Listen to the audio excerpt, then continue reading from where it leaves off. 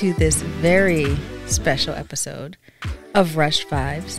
I am Jessica Rush'd Vibes Rushing, accompanied by Mr. David Rush'd Vibes Rushing, with our honorable special guest, Miss Leah Nicole. What's up? And we are here to vibe with our tribe and let you know about this wonderful woman and the amazing things she is currently doing and will be doing in the world that we reside.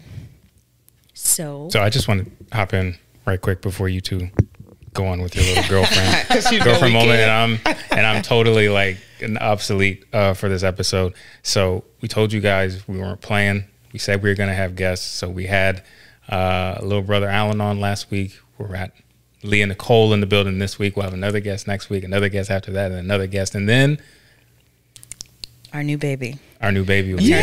Maternity So leave. we'll be we'll be done. So it'll be maternity leave vibes, and we'll be out of here for uh, probably a couple months.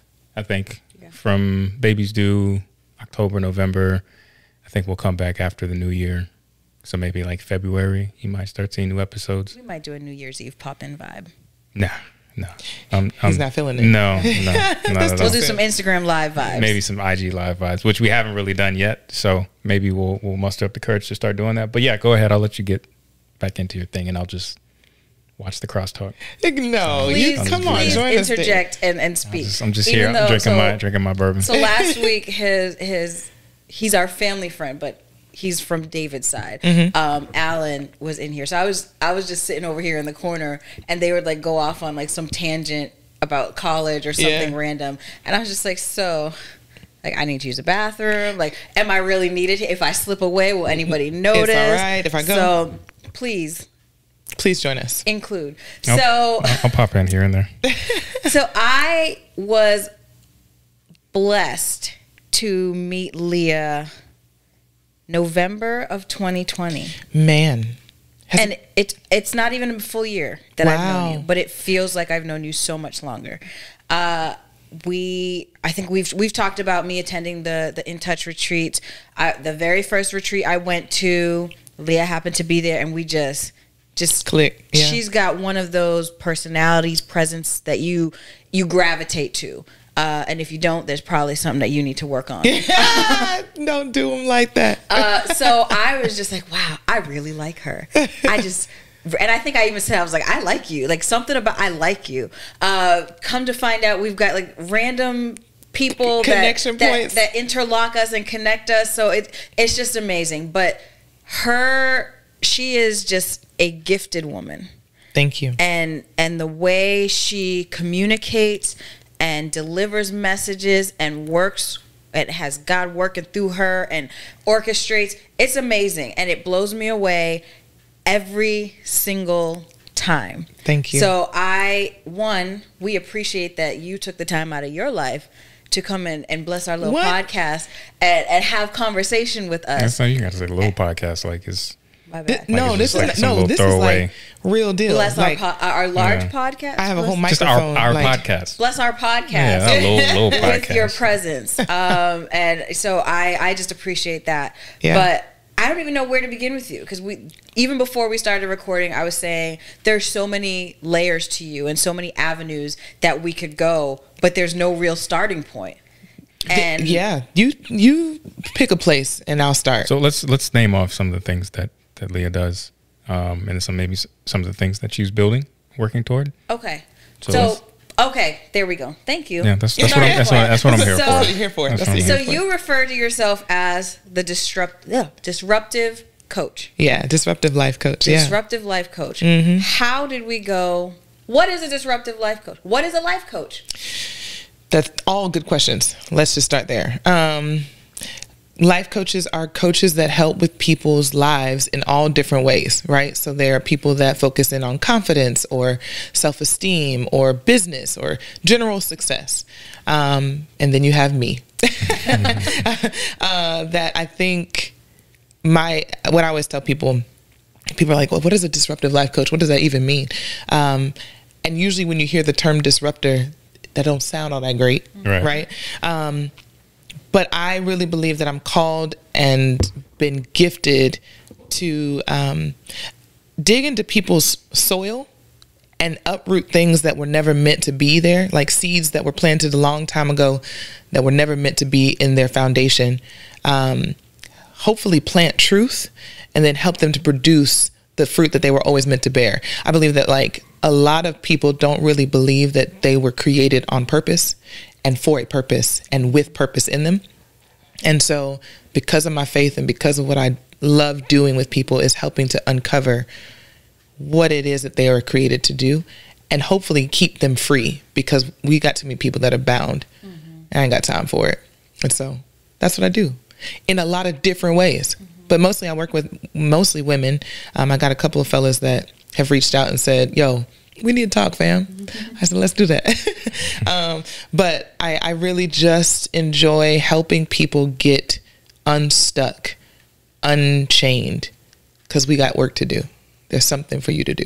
Have you always wanted to be a life coach? Is that something that No. were you coached and you were inspired? Get girl. Yes. Thank God for listen.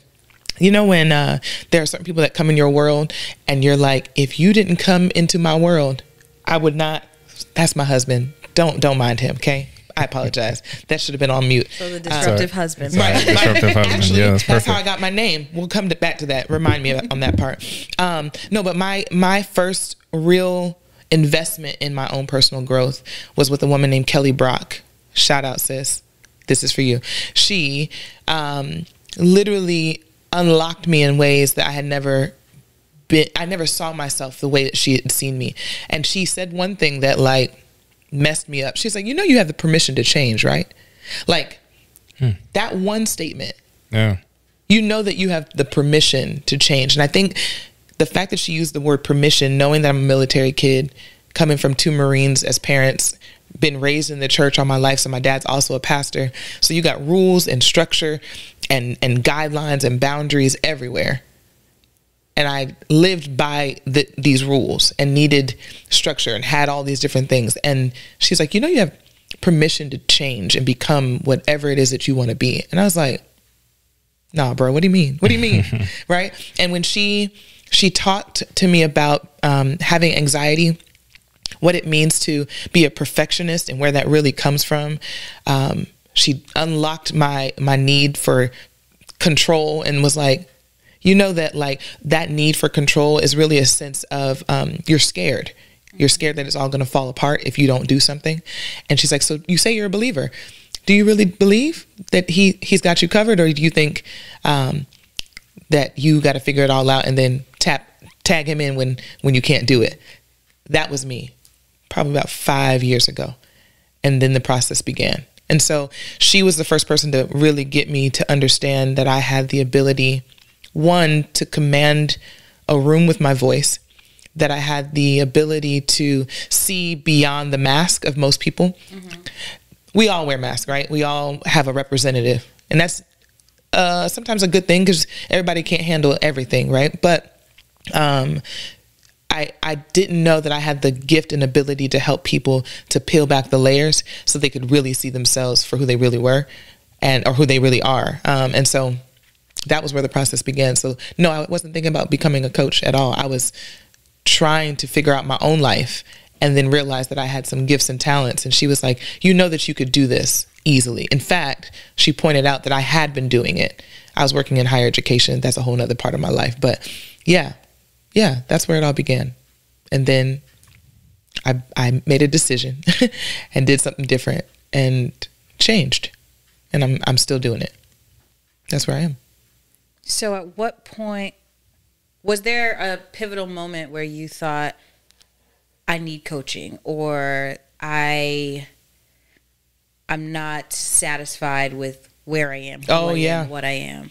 Uh, it wasn't that I needed coaching. I felt like I just needed I needed help, and it was hard for me to even admit that. Like being the perfectionist, wearing the mask for a very long time, I was like, um, I don't need help. I got this covered, and I had been so good at perfecting my mask, perfecting the paint that I wore, And I remember coming home one day and you know, you know, um, like sometimes if you get up in the morning and you uh, are kind of dreading the day and all the things that are on your your to do list for that day, you wake up in the morning, you're like, okay, Yeah. here we go, right? Like as if working or waking up and going into your day was took a lot of effort. Yeah. I did that in the morning one day and I was like, man, that is not, I don't like this feeling. And then I came home and I realized that when I came home, I felt like all the, the stress of the day, I could release it finally. And I was like, this feeling of waking up anxious and not really, or dreading the day, Yeah. and then coming home and feeling like I can finally breathe because I'm away from the world again. I was like, this can't be it. This, this can't be how life operates there's got to be some I, I need to talk to somebody now this was before going to therapy was was was a thing right especially for Yeah. black people let's be all the way clear um especially for black christian people in church they say call jesus Just need That's- Jesus. That's who- all you that's all you need. need pray Call him on the That's- hotline. call- call- right call him up tell him what you want right and i was like yes jesus is great Just throw But I- some, just throw some holy oil on right, some holy water. Yeah, Rub yeah. it in. Just just pray was Yeah. the word, and I was like, and that's not helping me. I need to talk to somebody. Um, but I, it was that at that moment. Oh, there's a couple moments. Oh, I'm being reminded of a couple things. This is good. I haven't reflected on this in a minute, but like that was one moment where my morning and my d- ending of my day felt like work, felt like weight. Mm-hmm. And then I was in this relationship, Jess, David. Oh. I was doing things for this man and becoming everything that he desired me to be. I gained, f- I want to say 40 pounds for this man because he wanted me a little thicker. How'd you how'd you go about doing that? Was it just Come like, on, eat. We eat some good food now. Like Ben and Jerry's? Don't move. Like Ben and not even, no, no, no. Like soul food, like Oh, collard okay. greens and Cornbread. cornbread. It's and- cornbread It's it. that bread. Listen, and I love a good roll. Okay, yeast rolls. Anyway, let's not get there. Um, but I again, I was living in this. I was living in this relationship and becoming everything he needed me to be. And it was at the point where I thought he was about to ask me to marry him. I was like, because we had been talking about it. I was, you know, I was like, okay, this is happening.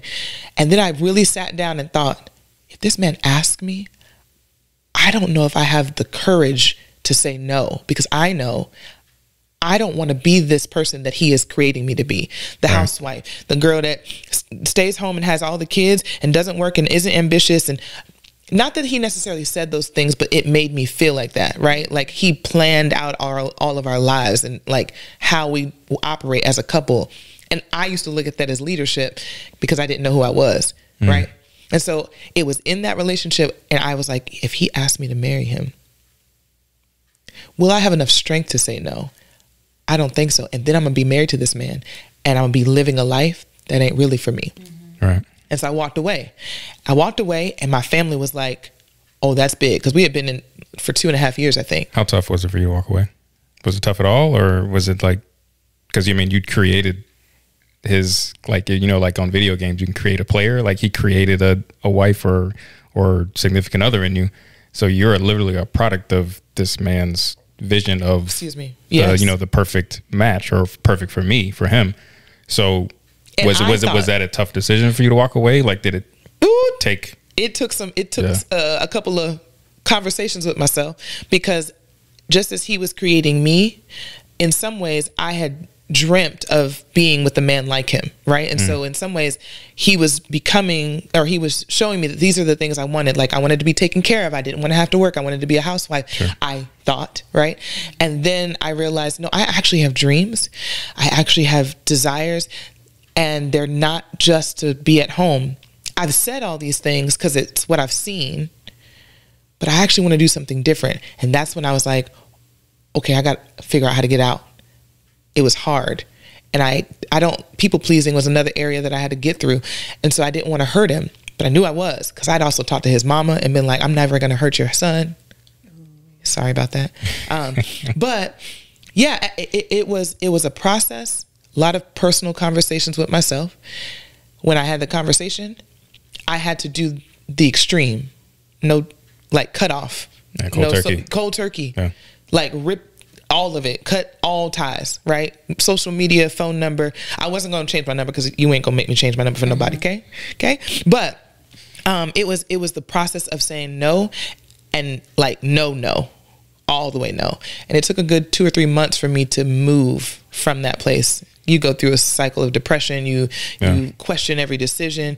Um, you go through the the lies in your head that oh my god you're gonna be alone for the rest of your life. What if no one ever comes after this, right? Um, and then the process of learning how to just love me began. And in that process, that's when I started to ask for help and started to find out that I could actually create the life I wanted if I chose to do something different. And I just had to decide to do it. And that's how we get here, right? You asked me about the name disruptor, and I wanted to go back to You that were gonna because your because husband, my husband. Yep. He's the one that Called. gave, Clarity, not the man that she was just talking about. Yeah, She- yeah. She's Listen, all the way clear. Just wanna make- sure, not the make man sure. that I was talking about.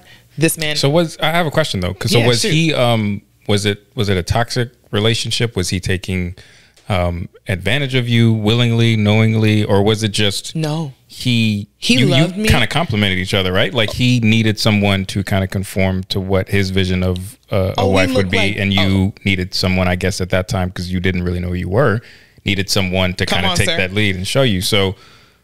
I just the reason I asked the question is because a lot of times when we we hear stories, or at least myself, we hear stories about how relationships don't work. We think that oh, it was that it must have been toxic or it must have been hard on you. Like there can be like to to someone on the outside looking in relationships that are going fine. You get along, you you have you share interests. There's Yeah. no like I'm at your neck, you're at mine, but it's still not healthy. And it's important, I think. I'm hearing in, in my mind, I'm thinking like it's. I'm so glad you're telling this because it's important for people to really truly assess the relationships in they're in, because on the surface it may seem like yeah this is this is fine we don't fight we get Yeah. along you know I do whatever he wants and he's happy he doesn't yell or vice versa Yeah. but that may not necessarily be the relationship for you. So I'm glad that you're here sitting with us and that you were able to to realize that because you know that would have been a from what I'm hearing that would have been a terrible waste of a life or disruptive life coach mm-hmm. not not being you know who they are. So Yeah, no, you hit the nail on the head. We had a great time. It was he was not abusive. It he was actually really encouraging. Um, he supported me in everything I wanted. I didn't know me. yeah And I think uh, the biggest thing is like when you don't know yourself and you're in relationship with someone that does, right? When they know who they are, they know what they want, and you don't. Their encouragement, their enthusiasm about life, and what they dream up, you are. It's easy to fall into that and say, "I can see that. Yes, let's do it." And it wasn't until I looked at myself in the mirror and I had gained all this weight the reason I gained the weight was because I really was a, really a lot skinnier, um, and uh, it was a desire of his because he was a football player, really big guy, solid, um, and he was from the south. And you know, down south we got curves thicker than a Snicker, cold grits, right? Like, come I, on. I, I look I, I can't say anything. yeah, yeah, 'cause yeah, yeah. No, you can't. that's Yeah, my you type. You know I'm see it. No, I, come on now. it better be because Right. Hello. we, we in here. Let's be no, but let's not clear. let's not just blame men, all right? Because grandmas from the south been trying to plump. Listen, they've been Yeah. trying to Been try- plump they've been trying to pump us up for yes, years. Exactly. I Baby, had you need to season where eat. I was skinny, and my grandma would go to my mom and be like, Just put some meat on that "Why aren't you feeding her? Yeah, yeah. Like, is she, are you punishing her? Like, she was so concerned. So, yeah, yes, you're is right, sir. Absolutely. But it was his confidence and his awareness of himself and my lack of awareness that I fell right into. Not even I fell. I chose to be a part of a vision because mm-hmm. he had a vision. And I said yes to that vision until I realized I actually had a different vision. Mm. And was I brave enough to say no to this and say yes to me? Yeah. it took courage, scary as all get out. But if I hadn't done it, I wouldn't be here today. I wouldn't have met the man of my dreams. Not even the man of my dreams. I didn't even know I could dream of the man I'm with. Um, because God is uh, is really really good at bringing the person that's going to bring you to another level and stretch you in ways that you never thought imaginable um, for your betterment. Um, but it I had to come to the realization I was in a relationship with a man that knew who he was and I didn't, and I was still searching for myself while in it. So no, the relationship was great. No, we we didn't argue. It wasn't like we just we had a good time. He loves football. I love football. He loves good music. I love good music. We love good food. Hello, I gained forty pounds, mm-hmm. right? But at the end of the day, I realized that there were some things that I was doing again to become what people needed. This comes from being a military kid and moving around a lot and being able to shift and become whoever I wanted at every new school, right? I was Nikki at one school, Nicole at another school, Leah at one school. I made up a name at one school. My name was Dee Dee. But any, anyway, that's a whole We're not nother gonna story. We're not gonna go. We're not gonna go there. Your story is really relatable, uh, and your question, your follow up question was good because I've been in in a similar situation. Thank you but for, for giving me props on my follow up question. I appreciate it. You're very welcome. Appreciate you, Where I've leeched onto someone else's life because I I didn't know myself. Yeah. and I don't know that. And I, again, this was late teens, early 20s, so Mm-hmm. it's like how This is before before David. before dating. To be clear, Um, how, and I guess I'm trying to like hearing your story. I'm thinking back, and I'm like, how did this person know themselves? We were the, we were about the same age. How did he know himself? Ah. and I didn't know myself, and I was able. Granted, I think for me personally, there were toxic elements that helped me recognize I needed to walk away Mm-hmm. to eventually walk into into his line of Leap vision. leap. And that's Leap. Jump, She sir. leapt. She I, leapt. She I was me. strolling. She, I- she it was a leapt. slow, She's like, it was a- it was a slow stroll. Pump, pump your, pump your brakes. Uh, but I had like I had leeched myself to somebody who was like, I'm I'm gonna become president. I'm gonna go into politics. So I'm telling myself, okay, you know, I'm just gonna do this college thing. I'm gonna become yeah, fit the dream, a, a fit the political vision. white. I don't like politics. I, as you can tell, I'm not. I don't have the demeanor to to not Neither. put a political husband in some kind of shambles. Like I will say something Yeah. and get somebody in trouble. But it's Right. like you you leech, but I can say I, I start to recognize the toxic traits and that's why. But it's like hearing that No, he y'all was. were good. Yeah, no, we were good. So for that, what advice would you give to a woman or a man? Because this can happen in in reverse order. Sure. Yeah. Who Yeah. doesn't know themselves? How do you even know if you don't know yourself? Oh, that's a good question. because you can align yourself with someone and then you know sometimes it takes you're married with kids and a house and you look back and you're just like what Yeah. so it's like what and I, it's such a loaded question that i'm No, asking you, I- but like, I hear the question. what advice would you how would you to like is there a moment you're supposed to reflect and make sure that like do like do i know thyself Listen, and that's the question. If you're like, how do you know yourself? When you can answer the question, who are you? Mm. And you don't answer with what you do. When you answer the question, hey, who are you? And your answer isn't, oh, I'm a mom. I work at this school. I um I do this nonprofit work, right? Or I'm a part of this organization. Hmm. Yeah, that's all great, but who are you? Hmm. when you can answer that question about who you are at your core, mm-hmm. what do you value? What do you want to leave on this earth? What kind of impact do you want to make? Like, I, if you can't answer the question of who you are, not what you do, what you like to do, even. I, I like music. That's great. That's not who you are, though mm-hmm. Right. right? And so when you can answer that question, I think that that's when you know yourself. And yes, what you said is that it requires reflection. Most people don't take listen, we we live in a fast-paced world and it's mm-hmm. only getting faster. And so to keep up with everybody and all the things and all the technologies, you've got to be on go. And that's why our society, I believe, is full of people that have attention deficit disorder, whether it's diagnosed or not, because mm. there's just so much stimuli Yeah. happening at all times that we don't know how to slow down. We don't know how to sit still. We don't know how to just to do this. This is beautiful to me Yeah. Beautiful to me to sit down and just vibe with people, good people, good conversation, good drinks, like good food, whatever the case may be, but be able to slow down long enough to just be mm. and not be thinking, what's next? Mm-hmm. Sure. Like I'm here in this moment, in this conversation, not thinking about what I got to do after, not thinking about what I'm going to wear tomorrow for church. Am I going to church because I'm tired? Like I'm not there. I'm here. Most people don't know how to do that alone, let alone with other people, let alone sit with themselves. Mm. and not have their mind spiraling to the next. So I think in order for people to get to the place where they actually understand how to answer that question, it requires a self discipline. It requires intentionality. It requires a willingness to say no to something else so that you can say yes to you.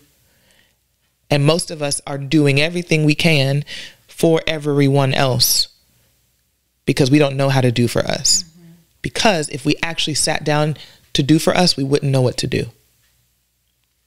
That right there. Wow. Yo, so that was, that was that was good. That was very good. Was... Um, and I think that's a good place to stop because cool. we need to take a break. Um, but I just feel like that's a really good note to end on. So um, we're gonna take a quick break. We'll be right back with more from uh, from Miss Leah. Cool. Yep. Okay. We're back. Oh, we're recording. yeah, I'll, I'll, I'm sorry. I'll cut it out. Yeah, please cut that out. I'll, I'll Nobody needs to know that. Uh, yeah. So we left off on such a deep note. So I, the follow up question that I had for you regarding. Yeah knowing thyself. Mm-hmm. We're just going. That's just the. I that's like going to that. be the theme. Should people who know themselves do they know when they're attached to someone who doesn't? I guess it's twofold. Are they being manipulated? Like, do they recognize that this person doesn't know themselves, so I can get them to align with mm. me, or should they stop and say like especially partnerships with relationships yeah should you say like do they even know who they are like as part of getting to know and this i don't even know if these questions make sense no they do but like if you're dating someone yeah. and you happen to be the person who knows yourself is it your responsibility or should you take responsibility to say you know what? I'm dating this person. We've been together for so long but you know they're a yes person or they agree with everything or they don't they don't have anything for them. Yeah there's a whole i'll have like six things that just ran through my head. First the to answer both questions. One i think both can happen right? Somebody can be manipulative and be like i know that they don't know themselves mm-hmm. and i do and so because i want to have control over someone absolutely they can just do that with a person that doesn't know themselves right a person that cares about personal growth for themselves and for the person that they're with, I would hope would encourage them to go do that work. Mm-hmm. In relationship or outside of it or take a break and do that, right? But however they choose, I would hope that if you value it for you, that you would want that person to have that same revelation or that same awareness of themselves. Um, I think it becomes in, it has to be an intentional decision if you're going to say that this person is your life partner right? That your value, your core values are the same or have some vicinity, closeness, proximity to each other, right? Because if my core values and that person's core values don't align or, or are not parallel, then where are we going? Mm-hmm. Right? Yeah. W- which direction are we going if my my values take me left and to the left bend and yours go left but then curve right at the tip, right? Like where we end up will be in two different places if that isn't in alignment. And so I think a person has to be intentional if you're especially if you're thinking lifelong partnership or even friendship, your circle. Cuz your circle impacts where you go too. Let's be clear. Like my dad always said this um, and I didn't get it until until I got it. But he said um, I don't have to get to know you to know you. Mm. Give me your best five friends, the friends yeah. that you chill with. Give me, let me have an hour with them, and I know who you are. I know who you are and where you're going based on the people that you say are close to you, because you can't get away from being impacted by the people you surround yourself with. Mm-hmm. Period. Whether you recognize it or not, right? There will be some type of rub off, some type of um, impact, some type of seed planting because you're just you're listening to them you're doing what you do with them. Um, and if you're not solidified in who you are, you will shift based on the people that are around you. And that's a good thing, or it can be a bad thing. Now, I have really great people around me that are doing great things and excelling and are way ahead of me in some ways. And then there are ways that I'm way ahead of them, and we balance each other out and we push each other to grow and move. And that's healthy, right? That's good. So if, if my dad were to say, "These are my, this is your crew," let me have a good talk with them. I'm yeah, please talk to them because you know when you talk to them, you're gonna find out where I'm going. Yeah. Watch us work. Watch us work. Because I'm proud of where they're going and I'm proud of where I am too. So I think it can be twofold. That's my thought on that. What are you What are you thinking? I see your mind. Your mind Like I was is getting like ready to ask a question, but I feel like he's No, got- go ahead. If you got a Uh, question. so let's circle back to Okay. your title. Cool. Um, the disruptive life coach. Mm-hmm. Where did that come from? so I was w- talking with my, one of my girls in my circle, and uh, she was excelling in different areas, and she was talking about getting a coach and talking about life coaching and all the things. And I was like, you know, I really, I really think that that's something I want to do, but I don't know what kind of coach I would be. I feel like I talk about empowering women. I think I talk about confidence building. Um, I think I do a lot of success, whatever, bus- business, sure. So she gave me the assignment. She was like, Leah, go and reach out to 10 people that you know and ask them to, to describe you in three words and gather those words and then find the common thread or the common thing that comes out because whatever they're saying about you, they know you, right? Whatever they're saying is probably the type of coach that you tend to be, right? They all gave me different words, whatever, catalyst, um, a pusher, you, your confidence, whatever, cool. And then I asked Marcus, I was dating him at the time, we were just dating. And I was like, Marcus, I've got this assignment. If you could describe me in three words, what would it be? He's like, I don't, now, knowing my husband, he's always going against the grain. So he's like, I don't, I don't need three words. And I was Right. like, just do, just give me the 3 words. He's like, no, there's only one word to describe you. And I was like, okay, what is it? And at this point, I'm like irritated because you're not following Yep. the rules of what Yeah. I'm One job. asking. Come on, one job. Um, and he's like, disruptor. I said, uh-huh. That actually okay. I ran it back by the other nine people and they were like exactly. That that sums it all up. And that's how we got here. Because there wasn't a way for me to describe all the ways in which i shift people foundationally shake people. But i do know that whenever i'm impacting someone i'm moving stuff out the way. My dad used to call me a whirlwind growing up i used to Yeah. think he, he's like leah comes in the room and you just shake the place up. Whether you mean to or not right? Um, and i used to hate that not knowing that that was always a part of who i was. And so yeah that's how we got here disruptive life coaching. I'm a life coach. We're going to talk about anything in your life but my job is to disrupt that foundation so that you get the right fruit to be bared. Like that's that's the goal. I mean, it's necessary. And what being a, a product of, of, of the, the disrupting, you're going to be disrupted.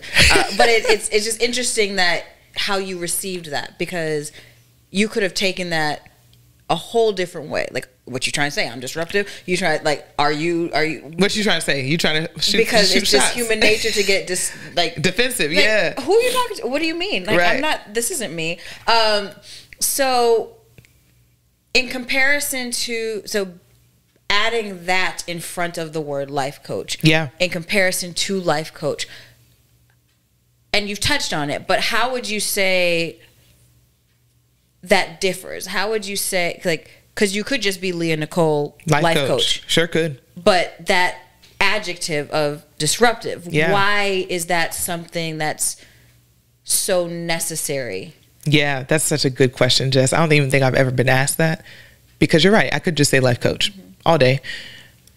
The reason disruption or disruptor is important to me, I I think uh, there's too many times where in people's conversations, our lives, where we stay surface, we stay at the top, we don't go deeper. As a disruptor, I can't stay on the mask level because I've worn a mask for too long and I understood what that looked like. And so then I said, okay, there's got to be more. I was like, oh, so that's cute. Let's move that out the way. That's nice, sure, but that's not the truth. What I recognize that a, a disruption has to happen for change to happen. You don't move without there being some type of shift even if you're simple example you're going to work out if you've never worked out you've got to figure out where you're going to work out if you're going to go somewhere. You got to figure out which routine. You got to figure out why you're doing it, and then figure out what you're going to eat. There's a whole bunch of things that change in order for that one thing to change or happen. Most people want to stay surface and don't want to do the work of figuring out all the different pieces that are necessary to make that movement happen. And that's where you get a disruptor to say, hey, that's cute. That's the desire. That's the goal. But how you get in there? What's the strategy? Because all these things have to happen before that becomes the truth. I don't know if that makes sense. If that It does. Okay. So how do you when you're coaching someone and you're trying to break those levels Yeah. or layers, excuse me? Mhm. How do you know? I, well, you've you, you've done it to me, Mhm. um, and I don't know if every coaching session you have you go from. Well, you probably do go from you know just from God to to the person, but Yeah. you know I'm sure you've had some secular clients. Yeah, yeah. How do you know? Because there have been times like in in a retreat, you'll ask a question, you'll single me out, and then you'll be that answer you're about to tell me. That's not the one I want. I want the first answer. And I'm like, so what you're not going to do is is get in here like like you are not. You didn't knock. You just popped in my head. Yeah. So how do you recognize when someone's not when someone's about to mask up essentially? Yeah. And give you the answer that they think or like how do you know when you need to break that soil when you're like i'm not in the soil i'm not deep enough in in the dirt yet there's a there's a couple ways. One, Holy Spirit is a great guide and helper. So if I'm in a situation or a coaching client that's a believer, I pray and I ask Holy Spirit to give me discernment about what that person needs to hear mm-hmm. and what needs to be unlocked in them. So I don't do it ever alone. It's not like I just come out of my head. That ain't how I rock. Um, and even if I'm with a secular client, I'm still asking my faith, my believer, my I mean my my my guide to help me even with them because I still believe that God created them, whether they believe it or not. So um, that's one answer. The other answer is most people don't give you their first answer, the one that they heard in their head, is not the one that they're willing to be vulnerable enough to share. Period. I may ask you how you feel about your husband right now on this moment, right? And the thought that comes in your head may not be the one that you want to put in the microphone out to this on this podcast, I'm right? And More than can say- confident it's not. I'm very confident you know what I'm saying? it's not. yeah. And so that's not a that's not a like trick. It's like we don't we're not vulnerable anymore. We're not transparent anymore. We want to create an image and maintain an image. And so I'm like, please don't give me that answer. So I just cut that off before they even do it because it's like a waste of my time. Like I got places to go with you. I desire to get you unlocked so that you can move. That's gonna waste our time. Don't do that to me. Please don't do it to me. I mean, you can try, but usually there's also indicators that that ain't the truth because your body tells on you as well. So, working in higher education and working with college students for the last 10 years, reading people's body language is what I had to do. I had to determine if when the student was in front of me and I asked them how their day is going and they're like, "Oh, I'm fine." And their body language is like and they said I'm fine and they sunk. That little bit of sinking, first of all, when you say, "Oh, I'm fine," F I N E means feelings I'm not expressing. So miss me with that statement altogether, right? Your feelings I'm not. I'm fine. That's a cop out. Um, but usually your body language will tell on you. Like if someone says, "Oh, I'm great," and they nod head up and down and they say it with an inflection that goes up, then they probably are great. And then I'm like, "Tell me what's been so great." And they should be able to go into stuff that's great, right? Because it would line up with their truth of their how their body showed up. So there's a whole bunch of stuff that tells me how to go deeper. I didn't know that I could see all of it all at once because I didn't realize God was training me all my life in different ways to see face expressions. I used to mime. I know people are like, "What?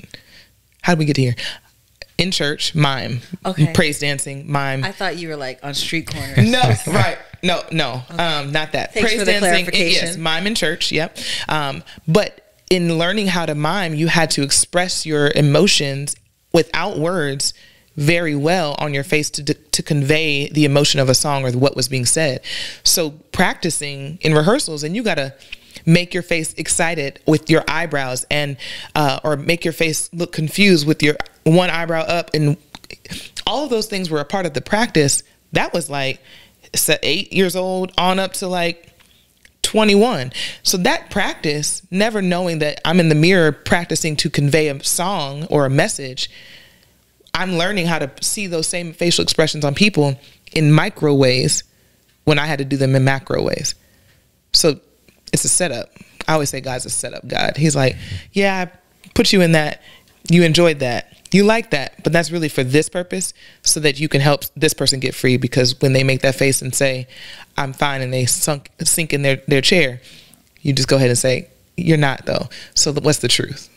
And we just go from there. So, do you have a question? No, I no. Just you mean you go ahead. Keep going. Why you say wow, David? I'm just, just, I'm just But wow. you you come on, you know that you've seen somebody. You can tell. It's not even you can do it Yeah. without you knowing that you're doing it because we're all human and we all express in different ways, but we're all human. yeah. And so you're And picking you're up on like you. and you're married. You got to pick up on you got kids. I do. And so paying attention to even their little bodies are giving you things.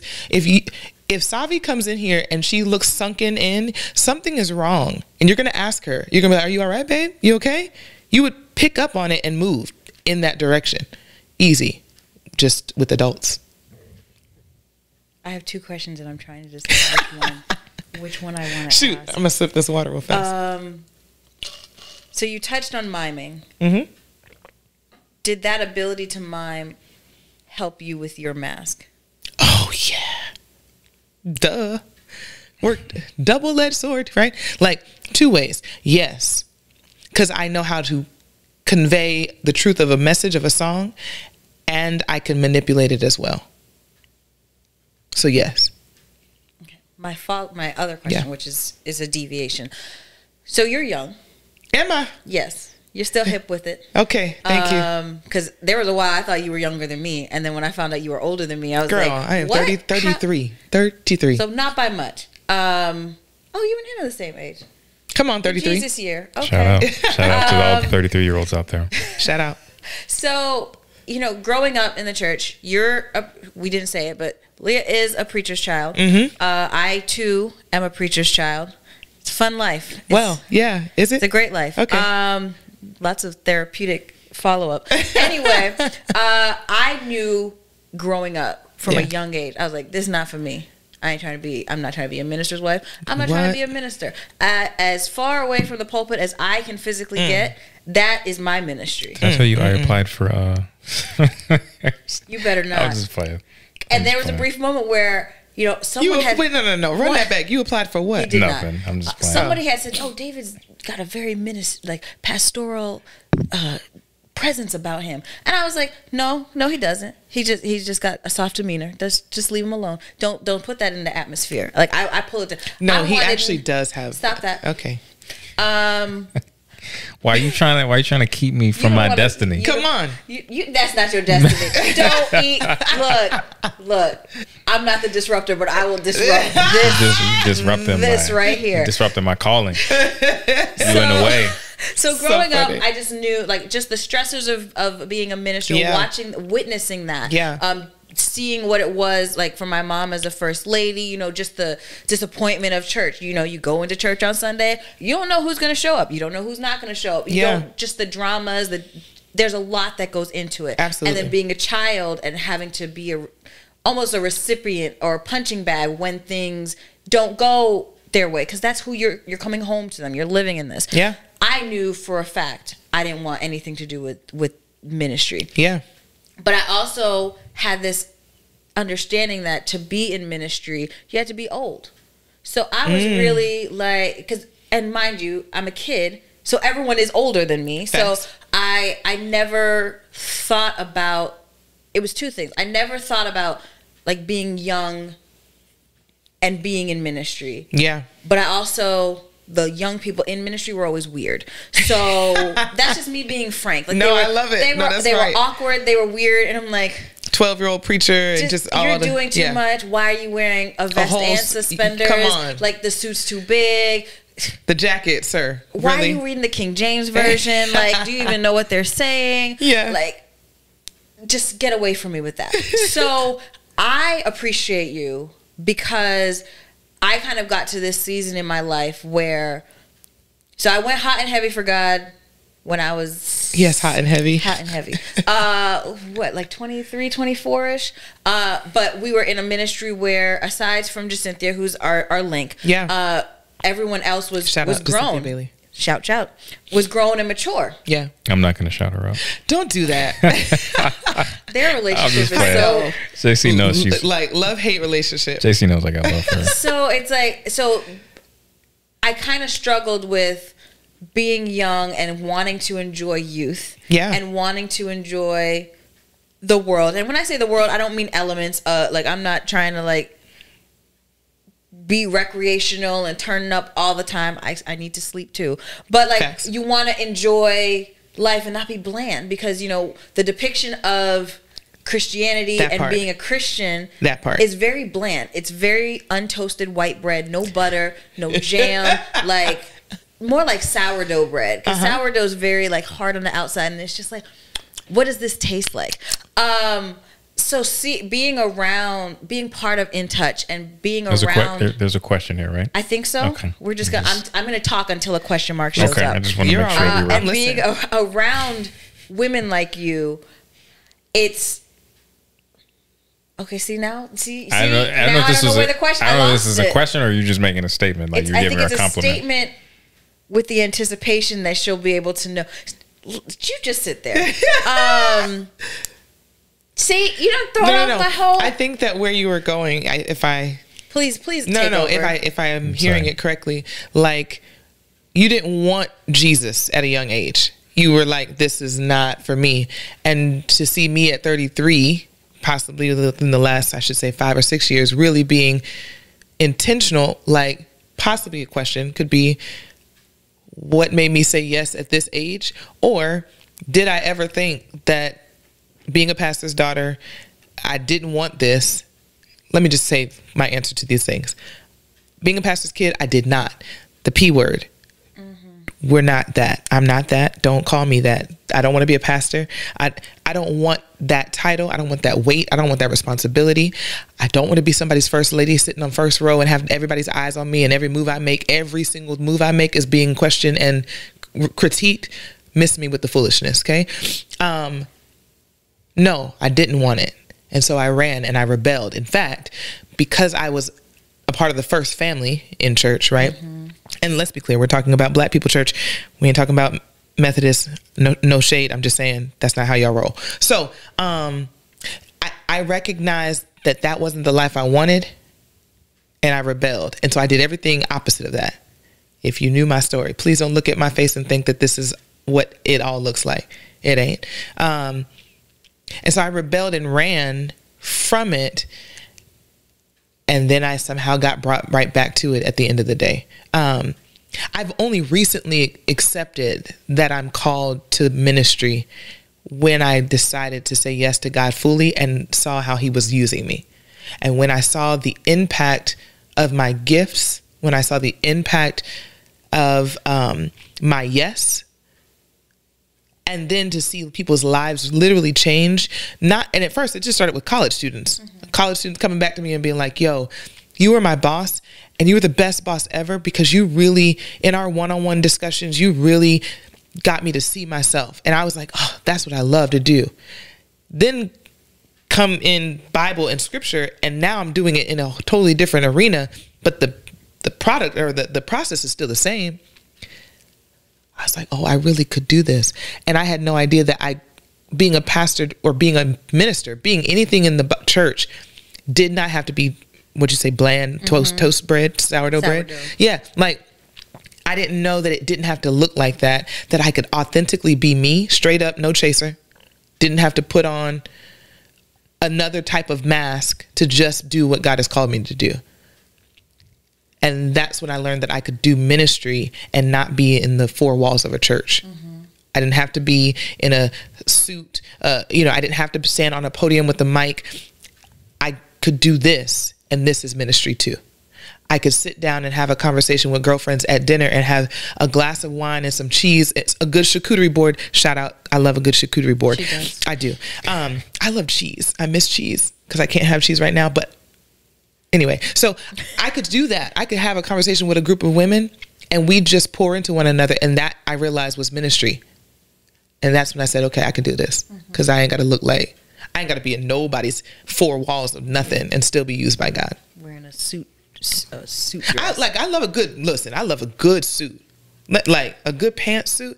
Have you ever gotten a No, white? but a Sorry, good I know this is like David. But- you're like okay. what? I'm thinking like the old, Old school. No, no, no. The no, Hillary no. Clinton joints. Yeah, yeah. No, No, there are some that are worse the than little, that. The little two inch heel. Like the why white, do the you? white, Like why do you have those on? What does that do for you? nothing. Nothing. Just put put on flats. Put on flats. Please do that. Anyway, so yeah, when I learned that ministry didn't have to look like what my parents did or what I had grown up seeing, I'm grateful that today ministry looks like a whole bunch of different things. Mm-hmm. Yeah. I paused to give you an opportunity to chime in. I appreciate that. Thank you. I, um, Can I pick your brain? Ooh. uh, you Do it. can after we come back from this break. Does that work? perfect, yes. Can you hold on to it? Yeah, I can All hold right, on to cool. We're gonna take a break. We'll be right back. All right, so we're back with Leah Nicole. On the Leah Nicole segment. The of Leah Nicole segment, uh, the take over. disruptive disruptive life coach. Is, is Yes, that correct? Okay, yes. disruptive life coach. Um, so all of you all at home are getting a free session. So um, if you like what you see, I imagine we'll have a link where Yeah. we can we can get to you on either social media or our website, and you can uh, feel free to uh, reach out to Leah for her disruptive services. So. That's hilarious. We're we're back, and I, I believe you're going to ask me a question. And Yeah. we were just talking before we came back on. A link between uh, Leah and and Jessica is our friend Cynthia, who I believe was our first guest during Mompreneur March, which was made her, I believe, episode number eleven or twelve off the top of my head. And Cynthia came on and was trying to take over the podcast, and I didn't appreciate it. I let her know. I let her know about it.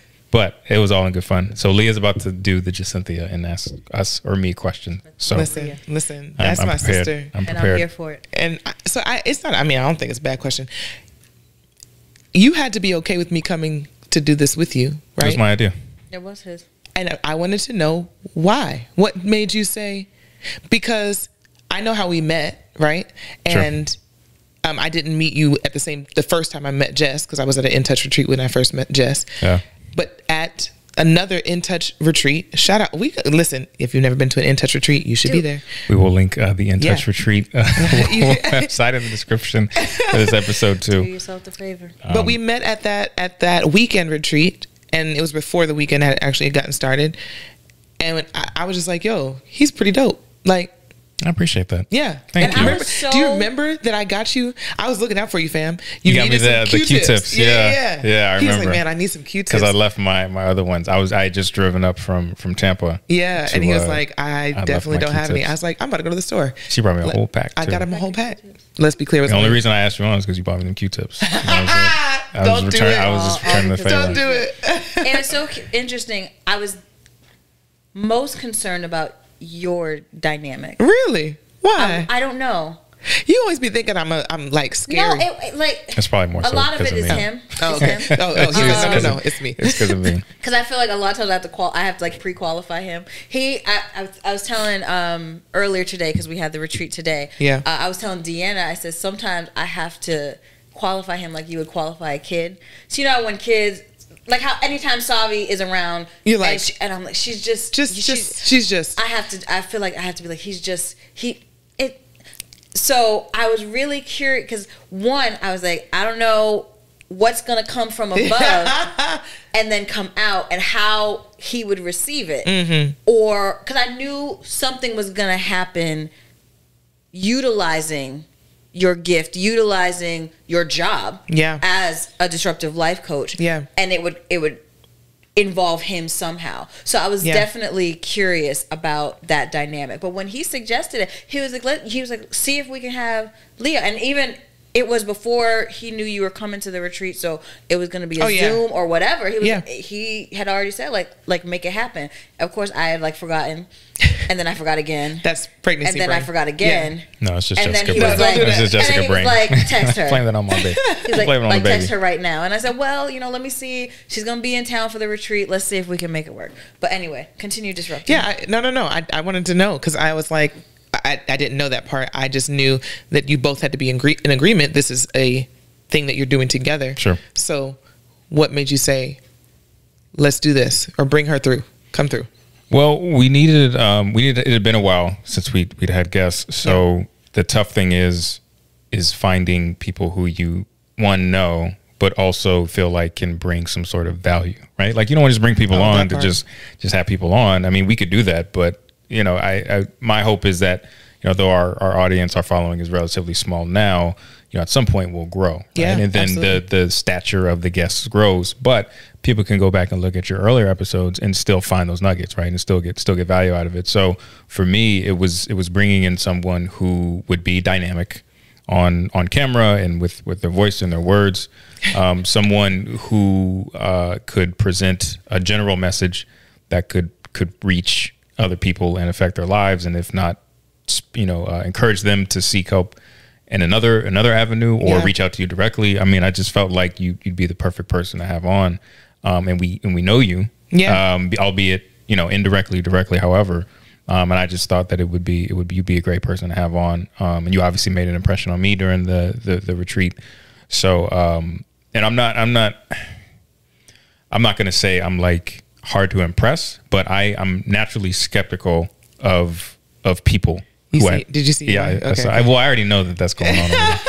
um, I, I'm naturally skeptical of people. Yeah. Um, and I'll be just be honest, especially church people, because it's, it's a lot of people can can be fake who you run into in that, and I'll even call it that that line of business. So yeah, um, you you you definitely uh, made an impression on me, and I know what you've done for Jessica. So that was actually the what made me okay with it is because anyone who can be of value to her, be a, a confidant, an ally, yeah. a, a, rock for her to lean on, who does treats her well, um, is always always good in my book. Like you could have just been Leah Nicole, not Period. disruptive life coach. You could have yeah. been Leah Nicole, and I'm been like, all right, do you crochet? Do you sew? Can we get? Do you have something we can like? Yeah, that ain't my. You could, yeah, so I, we, we would add you on regardless.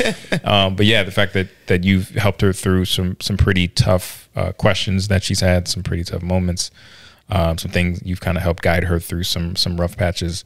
Um, it just it was the icing on the cake for me. Um, but it, I'm learning more about you now and I just feel like it's it was perfect for you to for you to come on. So thank you. Yeah, I like your brain. So I'm always like, what's going on? You don't, you know, you you talk sometimes, but like there's so much more inside your head going on, and so I'm always like, let me pick, let me ask.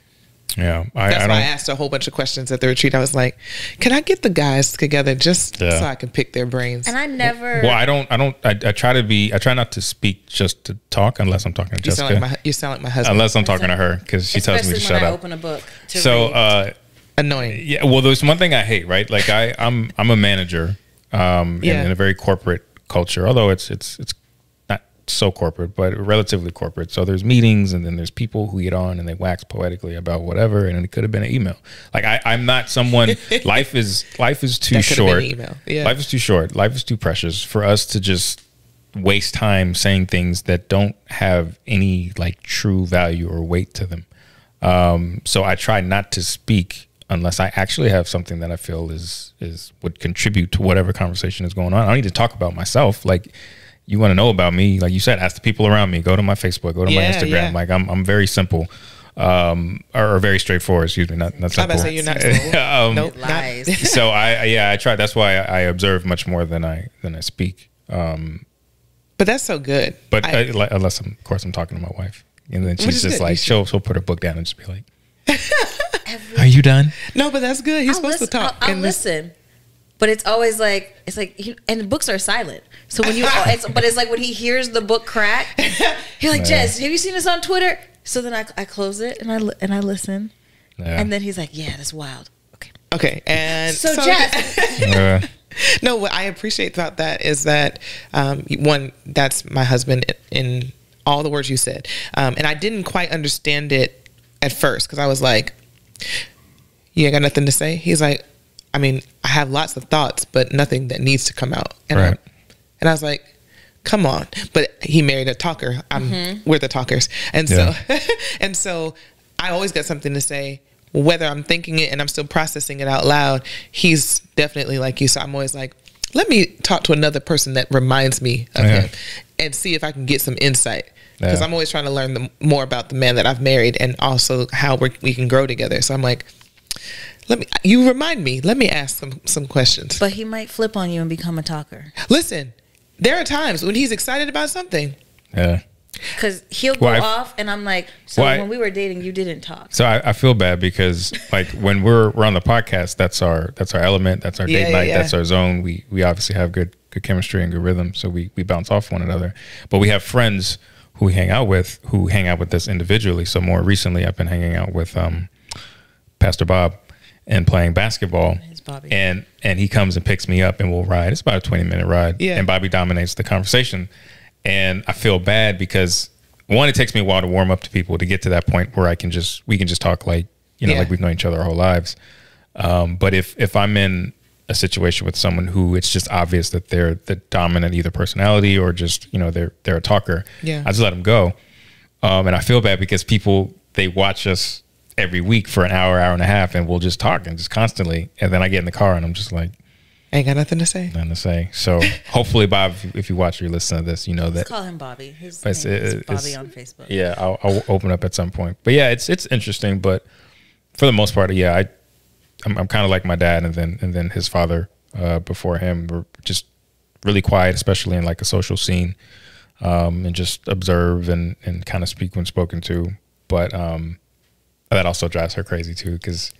She'll tell you when we go out and people they'll try to they'll try to like well everybody have the conversation and they realize oh there's this person over here who's been quiet and they were like See, so and I'm the David so David Come, come talk. Come talk. how was your How was your day? And don't ask me a yes or no question or Yeah. or First straight of all, like don't give me a closed-ended question. Yeah, like, it was good. It's great. it was it was like, straight. what do you you do? And then he'll tell you what he does. and that's it. I work. Not I work. Come on, I, I fam. work forty hours a week. But I think the preacher's kid in us, Yeah. we are your your dad will guest preach somewhere. You're put in situations where What? you're you don't have the option to be quiet. Nope. You don't have the option to be shy. I hated singing in public. Did I have the option to not? What? Every time So I gotta sing. Jessica can sing. Jessica sing. No, Jessica Jessica doesn't want to sing. she she's venting at this moment. She's So getting that off her chest. We have Yeah. been trained. We have been ordained Yeah. unintentionally. Unintentionally, to yeah. talk, to speak, Yeah. and then to also, you know, you get a guest at the church, and that guest You- has a kid. It's you are now the ambassador to, you know, because if you welcome the kid and the kid is comfortable, Go play with them and go make- So it's like it's it's a default to sounds talk. sounds miserable. That si- that silence is uncomfortable. So to know people, to oh. think that it's like, oh, there are people who can like just be quiet, like not doing something and be quiet, be in the midst of others and be quiet. That's it doesn't feel healthy to Oh, me. oh, Jess, you just hit on something. You said silence is uncomfortable. Oh yeah, I hate silence. Oh, see, I I used to, and then I've learned to value it. I love it now.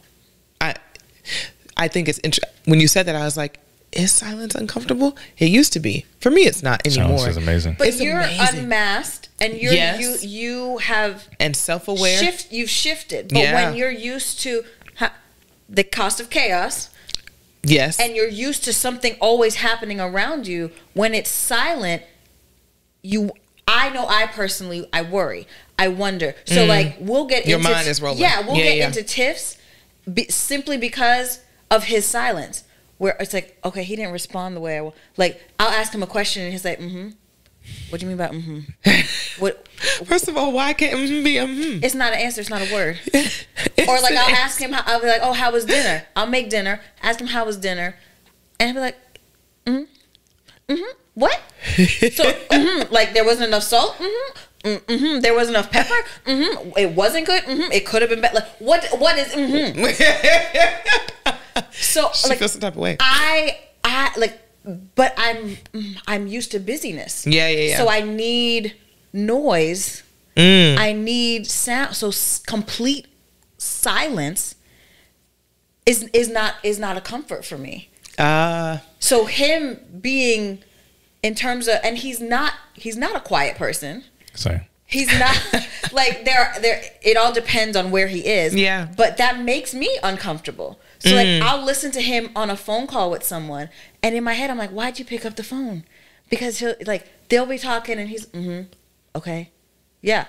So like it's it's just so monotone, and and I want to just jump in and be like, well, he actually like loves this and he's enjoying it and he appreciated that I've you gotten- sent this to him. I've gotten so many lectures from her after I've gotten off the phone with someone. She was like, you know, you were being kind of rude. You were just so saying really games. I mean, if you were talking to me, I felt But like you I'm didn't want also to talk to me. empathetic. It's So I'm like, if I was on the phone with someone and Yeah. that was the response I was getting, I would. Ha- I'd be like, well, it sounds like you're, you know, you don't feel like talking. You're busy. I'd be like, yep. I'm gonna let you go. you're But- right. So it's like Thanks for it makes me. thanks for taking take, thanks for taking the context like- clues. Like if he's on the phone and the phone is on speaker, I can't be around him because I'll hear that person's enthusiasm and then I'll hear his you lack wanna of ma- and you wanna match it? I, that's me. I'm a mirror. Mm. So the energy you give me is the energy I'm going to give you back. Yeah. I so I the questions I have rolling in my head like why does it have to look like that though? I think more. I think Jess. for me, it's confirmation. What's the opposite of rejection? It's acceptance. Okay. If the energy is being matched, if the response matches, then I, you've accepted how I'm communicating with you. but what if their response to you doesn't mirror yours but still means that you're accepted? If it doesn't mirror mine, it doesn't mean I'm accepted. Mm, but what if it does? But it doesn't. Ah. and so But the thing is, I can accept it with other people, just not this one? just not this one. Ah, that's a whole nother. So Like I need you to match my energy. yeah, yeah, that's a whole nother like That's a la- that's, a whole different nother- layer in yeah, a that's different whole soil. nother- it's a different that's part of the garden. Yeah, that's a whole nother pot. That's a whole nother marriage is a whole A whole nother episode. marriage. Okay. I And wanna- you're a newlywed. She's a newlywed. I am. I've actually known Leah in three Congratulations. Thank you. stages. I've known dating Leah with single dating Leah. Yeah, yeah, yeah. Uh, engaged Leah. Yeah. And married Leah. She's all still in the still in the honeymoon phase. than a right? year. Well, you've been. How long were you dating? We dated for a year and a half. Oh, Year- so y'all are still in that honeymoon phase. Yeah. Oh yeah. Yesterday when I, I got into the hotel room and I was like, How's your husband? The light. she I hope he watches this segment. She Just- lit up. Like just, uh, she didn't even have to use words. And I was just like, Aw, that's Everyone just, said that. I was like, I, I, it's great. like Give it- you your cheeks rose a glow came from within you your smile and i was just I, like I, I really, really like him, and Um, I can just say. I, just give it time. It'll don't do that. Don't do that. Oh, boy. Like, it, it- He. Yeah, he's great. I Yeah. I like him and I love him. Love. That's we're awesome. always- that's an action. That's a decision. But like I like him. He's in this. Now let's be clear. There are times when I'm really like. What is wrong with you? Right? That's my thought, and and it comes out. It's not a, just a Yeah. thought. It comes out. I'm like, what is wrong? But for the most part, we're only four months in. Mm-hmm. Yeah, it's really great. let's talk about that let's talk about you and him give it time. because you I'm. I'm just playing. because you I'm anyone says that? Um, no, it's, and you know what's funny is um, marriage is like, especially in in our our society, it's like people are so in love with it. You know, like uh, the the grandparents, parents. Oh, when you get married, like Yeah, it's yeah. it's such a it's such a destination that so many people seek. Um, but then. But then you talk to like people for some reason they they make it seem like it's so miserable and everything for especially people who have been in it for so long. Yeah, yeah. Um, and it's it's almost like just the thing to do, and you can sort of start doing it subconsciously without ever thinking about it. So I try to be really intentional about um, when people ask, like, "Oh, how's marriage?" Because you know we're seven years, and Yeah, this good year. Yeah. um, and that's I think that's right around the time that's like The close seven to- year itch Yeah, the seven like- year when people are like most most marriages like fall apart, or that's where they start. You Yeah, know, it's like the it, it starts year to become like the, the the biggest challenge. Um, I, I try to be very and not try like I have to force it, but to- Intentionally aware, yeah. intentionally keeping those those things from from seeping in, and, and then you just regurgitate stuff that you've heard people say all your life. But no, it's uh, marriage is. I think not that you asked me, but I'm going to tell you anyway. Yeah, no, but marriage is um is it's fantastic. It's every day is is a new day, especially if you have like when you have someone, my partner like mine, who's just constantly evolving and growing and and stretching and um and is expressive and is very dominant about what she wants and her her expectations um, for someone like me like I, feel like most people they see us out and about when she's in rare rare form. It's like why are y'all even like he just sits. Oh my there gosh, people say that about and me and Marcus. Yeah, and she's but for me, it's like like I wouldn't want to be married to me. Like I'm bo- I'm boring. like I wouldn't like I, I, me like I just be sitting here with myself like. And so how was your day? Look, yeah, Good. and be silent the whole oh. time. What you eat? Food. like what'd you do go to work like I, I couldn't do that um It's a good balance. yeah and but it's also a challenge and we disagree on this because I, I, I don't know what it is about the word choice but it's also difficult because you're constantly you're growing and that's tough And that's right work. and you're And- someone yeah. else is growing and you may not be growing at the same rate and you may not be growing in the same direction Mm-hmm. Come but on, then at the same time you have to grow together He might be a preacher. you have to grow together. So it's like, you know, it's it's it's pruning, it's stretching, it's it's scraping your knees, and it's like it's it's compromise. It's a it's a lot of things balled up into one. And when I say it's difficult, it's not like a a throw my hands up. I don't want to deal with it difficult. No, it's it's like this is tough, but I see I see the destination. I see I, you know I, I see where we're going Yeah. um, and I see who I am now as opposed to who I was, and I don't get here without going through a difficult Come on, sir. process. Yeah, difficult journey. So I love it. No, Um, what you said. mar- First of all, let's be all the way clear. Marriage ain't for punks. right, Like, if you want to be married and you don't have any grit to you, any tenacity, any like fight in you, please don't. right, Like, don't waste your time or theirs. Right? Marriage Or- ain't for punks. or the states. like, It's tax dollars. Yeah, yeah. No, it, it- like it, it's like don't don't do it. Um, I think what you said was so powerful because um, I love the idea that yes, one person is growing and the other person is growing, and they may not be growing at the same rates, but as long as you're both willing and uh, willing and able to, but really the willingness Yeah, to come together and have conversations as you all are making those transitions and making those movements. That's all that it is. Marriage is a a mirror. It's always been about showing you more of you. Mm-hmm. Mm. And I think people go into marriage thinking that it's about ha- that person doing everything that they can to please me or I'm supposed to do everything I can to please them. And it's like you can do that and that can be your focus or you can live life with this person grow with this person and learn more about yourself through that person and they're going to show you pieces of you that no one else could because what they're with you every day yeah, i mean you may go away That's for a so true. weekend whatever but i think marriage is such a um I think when someone was like, Leah, when you say I do, what you're really saying is I do to more of a growth process. I do to more of the stretching, the pruning, right? I do to be made into the best version of me because someone is, like you said, pruning or buffeting or smoothing me out. You don't, like I said earlier today in our InTouch group, you don't become a diamond without pressure. Mm-hmm. You don't, there's got to be pressure, there's got to be some fire, there's got to be something. And so, like you said, the person that you are today isn't the person that you were when you first got married, and you wouldn't be this man today Right. had you not gone through it. I, I, I think marriage is great. It's work. It is difficult. It ain't for punks. It's not. that's the sound. That's the soundbite I wanted. Thank you. You're welcome. It is difficult. See, Yeah. now he's gonna use it again. We had a whole episode where we argued, and difficult. What you used the word hard. I said difficult. Pretty sure he said the word hard. It's difficult. You tried to uh, say it was hard work, and I said it was difficult. I I didn't like the idea of whether it was hard or difficult. Yeah. I didn't like that he said marriage is difficult. Yeah, you're right. Correct. You you did say marriage is difficult. and He's like, see, I'm gonna go. I'm gonna go in and figure out how to edit that out. Uh, but I didn't like the idea of of him titling marriage as difficult. I okay. I said marriage has difficult times. It has difficult moments, but marriage overall is wonderful.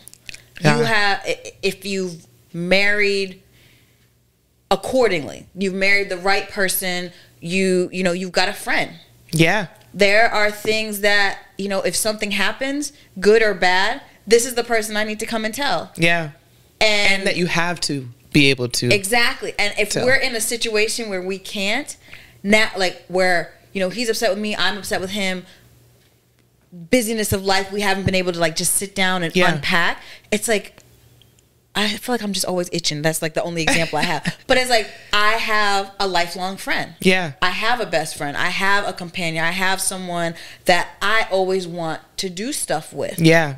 That you have to be like there is someone next to you that you're able to do these things with Always. always. You're never alone. I guess the reason why I, I disagree is because when I say marriage is difficult, I feel like you hear that and you say, "Oh, that means marriage is means a person is difficult or I'm difficult." I can go The through concept. my I can go through my own storms and and val and, and valleys and struggles Yeah. by myself within a marriage, and that be part of being difficult. It has absolutely nothing to do with you. Mm-hmm. But I'm married, so I have to learn how to go through those changes, how to go through that that Yeah. get through that period and not totally affect you or mess up anything that we have going. So that's like part like it's it's a it's a totality. Marriage is difficult, yes, but there's like there's nuance to that. It's Yeah. not my partner is difficult. It's the process of growing at a different rate as somebody um, or or with someone while finding out who I am, Yeah, figuring wow, figuring yeah. myself out. Like And then that's, come on, children. That's difficult. Yeah, and kids like the whole it, it, the whole thing is is it, it's a difficult process, but difficult is not synonymous with bad or negative. Um, like there's a coach uh, for the Phoenix Suns. He he said a quote in the Sun in the finals this year. He said, "Everything we want is on the other side of hard." Oh. Like Come on, sir. there's nothing I've ever had in my life that was That's just it. given to me that I that I there's nothing in life that I've ever had that I valued that I didn't have to struggle, work, and and grit and grind for. So, and really, it was a way of like it was it was a, a phrase of endearment, really, for me, because yes, our marriage is difficult, but yet I'm still here, and I I'd, I'd rather I wouldn't rather be anywhere else. And I wouldn't be on, rather be on this journey with anybody else.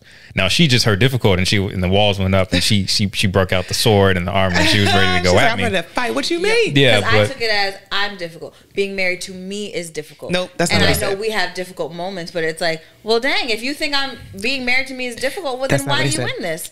So it, it's, and I don't know how we got to us when So I was I- trying to talk about your I know, marriage. and I No, don't no, want to, no. and I don't want to be the party pooper, but we need to go ahead and wrap up. Um, so I'm going to give you 60 seconds. Um, let us know where we can find you online, Okay. your social media, your website, and um, you know, kind of what's Anything we didn't Anything get you're to touch working on, on. that you want to get to the public. Li- listen, there's not a lot to say. That really and truly, I'm honored to be here. Um, the biggest thing I want people to know is that it's important to do the self work. Self work is necessary. Self awareness is a beautiful tool. Um, and if you need help, don't be afraid to ask. There are enough people out here that want to help you, whatever you're going through. Um, the things I want people to know that I'm doing. So I do this retreat called the Heiress Mentality Retreat. It is for women that are accustomed to pouring out to other people and do not get the opportunity to be poured into like the queens that they are. Um, my job is to remind them of who they are and treat them like the royalty that they are. And so in this retreat, um, you get the royal treatment, you get the massage, you get the facial, you get the private in house chef for the entire weekend. Um, it's a luxurious experience for women that want to go deeper and want to be loved on and want to be poured into. And so that's what I love doing. Um, where you can find me, uh, my name on Instagram is purposed underscore in underscore chosen because I believe we are all purposed and chosen to do something great. Um, and if you want to find out more about me and my coaching, theheiressmentality.com, you'll find the coaching tab. You'll find out um, how you can get a part of one on ones or group coaching. Um, then I'm also at every InTouch retreat there is, and so Yeah, we'll link um, the InTouch a- retreats, too. Yeah, We'll yeah, that's below. that's something that you want to be a part of. So I think that uh, the last thing I want to say is I'm honored to be here, and this was a great vibe. This was great. I appreciate Vibing you. That's twice that you dropped the vibe pun, and I, I appreciate you Come doing on, that. yeah. Thank you. So uh, you we're gonna go ahead, yeah, and uh, bring Jay Belkin. Um, once again, uh, connect with us on social media. Rush'd Vibes on Facebook, on Instagram. Subscribe to us on YouTube. Like uh, the video as well, so it helps to show up for other people. Um, episodes every Wednesday. We'll have another guest next week. Jess, you got anything? No, it's just a pleasure. So yes, great. a pleasure. Thank you, Leah. We Always. appreciate you. We love you. Um, appreciate y'all. Love y'all for tuning in. We'll see y'all next week. Be good. Be safe. Be well. Peace. Peace. Yeah, I done came way too far stop me now. Can't stop me now. God ain't bring me this far let me.